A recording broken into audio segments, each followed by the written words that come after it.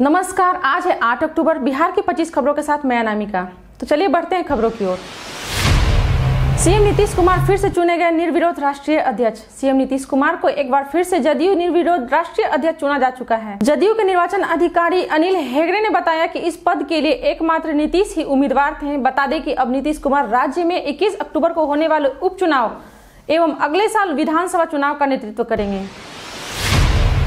जदयू के अध्यक्ष सालखन मुर्मू शिकारपारा से चुनाव लड़ेंगे, जिसके साथ ही उन्होंने अपने पाँच संभावित उम्मीदवारों की भी घोषणा की है। जिनमें प्रोफेसर सुजीत कुमार सोरेन को जामा से, प्रोफेसर ईश्वर मरांडी को महेशपुर से, लुकस हंसदा को बोरियो से, मार्शल ऋषिराज टूडू को दुमका से जदयू का प्रत्याशी बनाया जाएगा, एवं खुद सालखन मुर्मू भी शिकारीपाड़ा से चुनाव लड़ेंगे।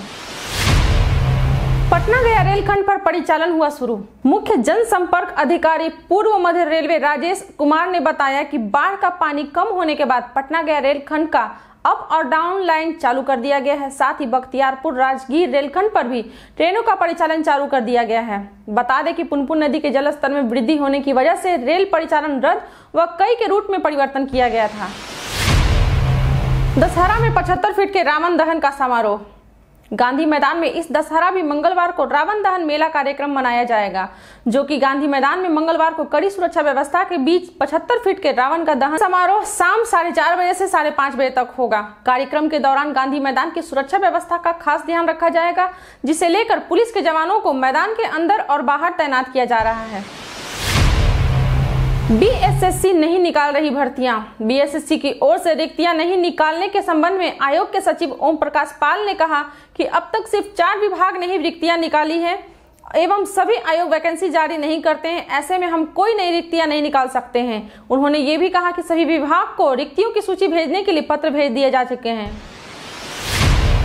पप्पू यादव ने बाढ़ प्रभावित लोगों के लिए लगाया मेडिकल कैंप। पिछले दिनों हुए बिहार के कई जिलों में बारिश के कारण भारी जल जमाव से जूझ रहे क्षेत्रों में बाढ़ प्रभावित की मदद करते हुए नज़र आ रहे हैं। वे जरूरतमंदों को खाना व कपड़े मुहैया करवा रहे हैं, जिसके बाद उन्होंने पानी से हुए बीमारियों से मुक्त करने के लिए कंकड़बाग स्थित मलाही पकड़ी चौराहा के पास मेडिकल कैंप की शुरुआत की। राजद नेता व पूर्व डिप्टी सीएम तेजस्वी ने सीएम नीतीश को रंग बदलने वाला कहा। इतना ही नहीं, उन्होंने ये भी कहा कि नीतीश ने समाजवाद व धर्मनिरपेक्षता को सदा के लिए त्याग कर देश की जनता के लिए मुश्किल खड़ी कर दी है। साथ ही उन्होंने ये भी बताया है कि बिहार में बाढ़ जैसी स्थिति के लिए जिम्मेवार होने एवं बाकी किसी भी हालतों के लिए गंभीर होने के बजाय अपनी राजनीति करने में लगे हैं। केंद्र सरकार की नई शिक्षा नीति लागू करने को केरल ने किया अस्वीकृत। बता दें कि बिहार सहित देश के अन्य राज्य जैसे आंध्र प्रदेश, दिल्ली, मध्य प्रदेश, ओडिशा, पंजाब व राजस्थान ने भी नई शिक्षा नीति के खर्च के संबंध में सहमति जताते हुए अतिरिक्त धन की मांग की थी, जिसे अधिकांश राज्य ने सहमति भी दी है, परंतु केरल राज्य ने इसे निजीकरण व व्यवसायीकरण को बढ़ावा देने वाला बताते हुए इसे अस्वीकृत कर दिया है। अब केंद्र सरकार को नवंबर में लागू करने वाली नई शिक्षा नीति के लिए मुश्किलें खड़ी हो गई हैं। पर्व त्योहारों को लेकर 24 से 31 अक्टूबर तक के लिए शुरू की गई स्पेशल ट्रेनें, जिनमें आनंद विहार टर्मिनल से शून्य चार, शून्य शून्य दो, भागलपुर तक हर गुरुवार को नई दिल्ली से बरौनी के लिए शून्य चार चार ज़ीरो चार मंगलवार व शुक्रवार को नई दिल्ली से दरभंगा शून्य चार चार चार ज़ीरो पाँच प्रत्येक शुक्रवार को आनंद विहार टर्मिनल से लखनऊ के लिए शून्य चार दो शून्य पाँच सिर्फ़ गुरुवार को एवं वाराणसी से नई दिल्ली के लिए शून्य चार दो एक एक गुरुवार को चलेंगी। डिप्टी सीएम सुशील मोदी ने नीतीश कुमार को बधाई दी। डिप्टी सीएम सुशील मोदी ने सीएम नीतीश को जदयू का राष्ट्रीय अध्यक्ष चुने जाने की बधाई दी है। साथ ही उन्होंने उनका साथ देते हुए कहा कि उन्होंने बिहार में न्याय के साथ विकास की राजनीति को भी नई ऊंचाई दे दी है। परेशानियों एवं चुनौतियों को भी जनता की सेवा के अवसर में बदलने का हुनर साबित कर दिखाया। उन्होंने ये भी लिखा है कि आपने न केवल अपना कुशल नेतृत्व दिखाया, बल्कि राज्य के मुखिया के तौर पर सुशासन की नई परिभाषा भी दी है। पूर्व सीएम व हम के अध्यक्ष जीतन राम मांझी बोले, पूर्व सीएम व हम पार्टी के अध्यक्ष जीतन राम मांझी ने भाजपा व जदयू के गठबंधन पर कड़ी बात कही है कि दोनों ही पार्टियाँ मिलकर जनता को बेवकूफ़ बना रही है, जिसमें उन्होंने कहा कि चाहे ट्रिपल तलाक का मुद्दा हो या अधिनियम 370 का, वो एनआरसी का मुद्दा हो या फिर बिहार में सुशासन ठीक से नहीं चलने का मामला हो, जिसके बाद उन्होंने ये भी कहा कि दोनों पार्टियाँ जनता को सिर्फ़ गुमराह कर रही है।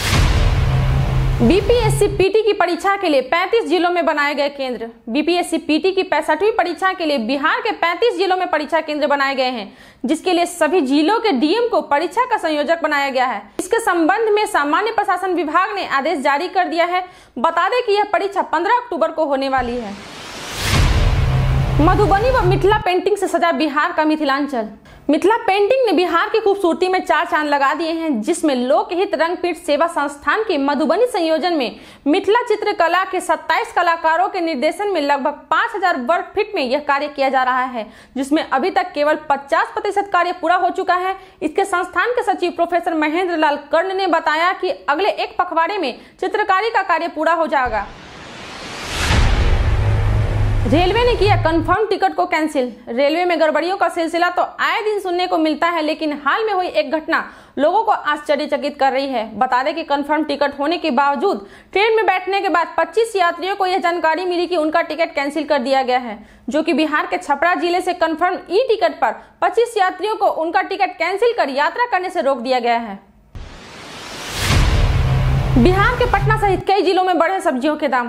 बिहार के मुंगेर सहित कई इलाकों में हरी सब्जियों के दाम बढ़ने से लोगों की बढ़ी मुश्किलें। बता दें कि पर्व त्योहारों व बाढ़ में सब्जियों की फ़सल खराब होने से सब्जियों के भाव अचानक ही बढ़ चुके हैं। जिसके बाद डिमांडेड सब्जियों जैसे कद्दू का मूल्य तीस रूपए, पत्ता गोभी चालीस रूपए, करेला अस्सी रूपए, बैगन सत्तर रूपए, भिंडी चालीस रूपए फूल गोभी तीस रूपए, परवल साठ रूपए, टमाटर साठ रूपए बोड़ी साठ रूपए, सीम एक सौ साठ रूपए ओल चालीस रुपए एवं झिगली पचास रुपए तक पहुँच चुकी है। मधुबनी की सुधीरा ने सिक्की कला से सजाई अपने जीवन की बागडोर। मधुबनी की महिला ने अपनी मेहनत व लगन से सिक्की कला के क्षेत्र में कामयाबी लिखकर हस्तशिल्प विभाग द्वारा नेशनल मेरिट अवार्ड के लिए पिछले साल चुनी गई है। बता दें कि 44 वर्षीय सुधीरा देवी झंझारपुर गाँव के रैयाम निवासी चंद्र कुमार ठाकुर की पत्नी हैं, जिन्हें बिहार सरकार ने पहले भी सम्मानित किया है।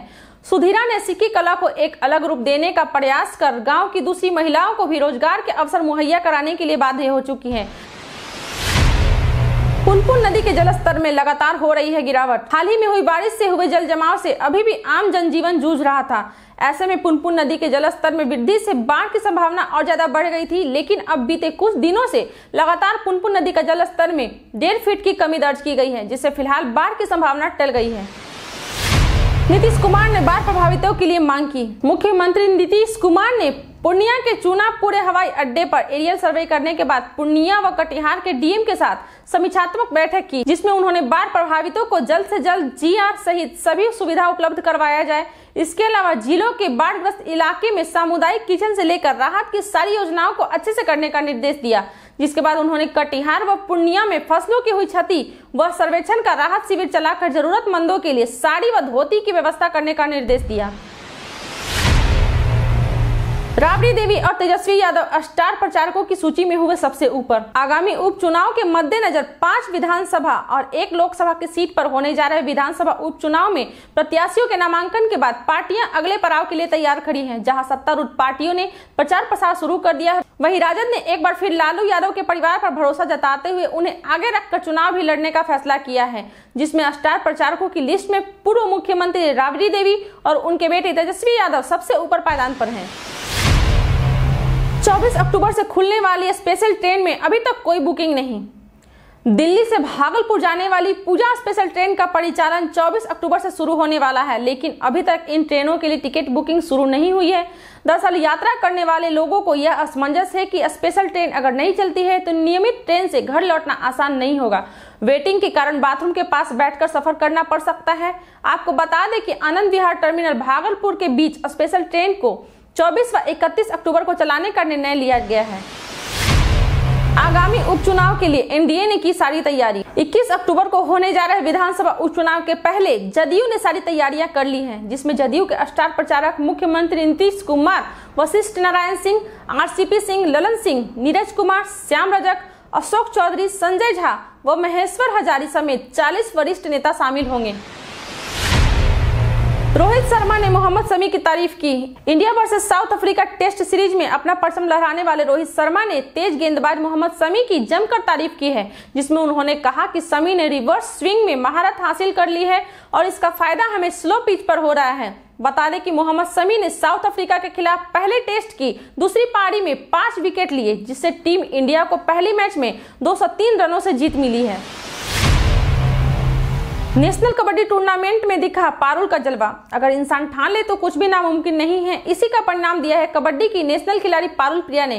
पारुल नेशनल खिलाड़ी के साथ साथ अब नेशनल रेफरी भी बन गई है। इससे पहले पारुल नेशनल हैंडबॉल गेम में अपना जलवा दिखा चुकी हैं। आर्थिक रूप से मज़बूत नहीं होने के बावजूद पारुल ने अपना कैरियर खेल में बनाया। वाकई पारुल सभी लड़कियों के लिए एक मिसाल है। महज 20 सवालों के जवाब ने सौम्या को पहुँचाया शिखर पर। हाल ही में हुए चंद्रयान दो की लैंडिंग में इसरो ने प्रधानमंत्री नरेंद्र मोदी के साथ शामिल होकर चंद्रयान की लैंडिंग लाइव देखने का मौका बच्चों को दिया था, जिसके लिए इसरो ने एक ऑनलाइन क्विज कंपटीशन का आयोजन किया था। इसमें बिहार राज्य के गया ज़िले की सौम्या ने महज 20 सवालों का जवाब देकर इस मौके को हासिल किया था।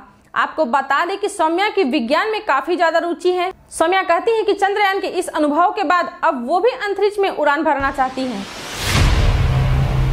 जदयू नेता संजय सिंह ने गिरिराज सिंह को बिहार वासियों से माफ़ी मांगने का तरीका बताया। गिरिराज सिंह के ट्विटर मैसेज को लेकर जदयू के नेता संजय सिंह ने पलट जवाब देते हुए कहा है कि अगर माफ़ी ही मांगनी है तो बिहार की जनता से इस बात के लिए माफ़ी मांगी कि आपने केंद्रीय मंत्री होने के बावजूद भी लोगों के लिए एक भी काम नहीं किया। जिसके बाद उन्होंने ये भी कहा कि आप पशुपालन मंत्री हैं तो आपको इंसानों से ज़्यादा तो जानवरों की चिंता होनी चाहिए। कम से कम जानवरों का तो हालचाल ले ही लेते अभी के लिए इतना ही, धन्यवाद।